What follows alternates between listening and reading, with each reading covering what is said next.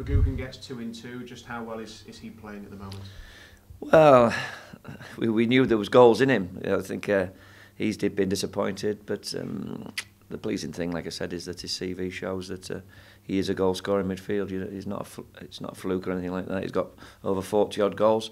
Let's hope he goes on a run now. And um, one thing we do know is he can hit a ball that's stationary and he can hit a ball that's rolling as well, and he can finish with both feet he needs to maybe start getting one with his head now. Maybe. Mm. Yeah. Now, th there aren't many players, are there, who can start in midfield and legitimately start a season thinking I can get 10 or 15 goals. He's one of them.